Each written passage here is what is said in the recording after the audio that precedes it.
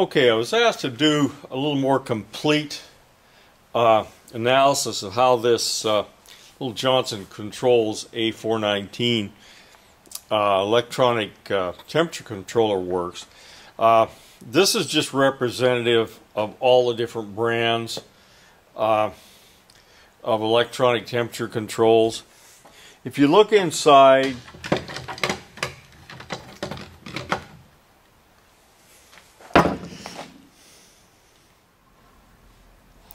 Okay, here's where the sensor hooks up right here, these two wires here.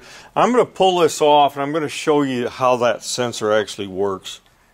Okay, there's the bulb that's the sensor. And uh, I'm going to take this and put it in some cool water. And I'll show you what the temperature is, uh, or what the resistance is. Because I've got an ohm meter right here that I'm putting across this uh, temperature probe. And uh, we got 0.986 kilo ohm so just under 1 kilo ohm okay. Now if I take this thing out and put it in my hand like I'm doing right here you'll see it immediately starts rising Okay, that's called a thermistor. Uh, the electronic part that changes its resistance with the temperature. That's all this thing uses to sense temperature. Okay, we're back hooked up right there. So the sensor is just placed, you know, wherever you need it. This is mostly a uh, box temperature type unit, could be duct temperature, could be just uh, space temperature, something like that. It's not really made for uh, contact, although it will actually work for contact temperatures. But uh, using the thermistor with the electronics that are in this thing, all it's going to do is it's going to change the temperature as the uh, resistance of the temperature probe changes.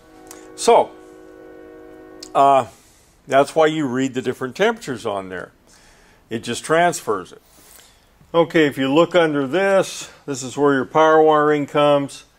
You got AC input here, 240 volts on this side, 120 volts. It'll work both ways, and your other lead goes to the common. Now, you got an output over here this could be it could be the same power you bring in here. You put a jumper over the common if you want, or you can use uh, you know another uh, voltage source for uh, for the output. But it's just a normally closed and normally open switch, and you set when you set the parameters in this thing, whether it's open on rise or close on rise. So uh, you can run you can run direct uh, directly to a compressor on this. Uh, it's a pretty small compressor, probably quarter horse is about all you're going to be able to run. This will probably run control voltage to a contactor or something like that to turn on the unit if it's any size at all. Uh, but that's pretty much the way this thing works. Uh, it's not real complex. It won't run on 24 volts, so you have to use 240 to make this thing work. And that's the way this thing operates. It says 83 degrees in here with all my lights on and stuff. Uh, hope this helps.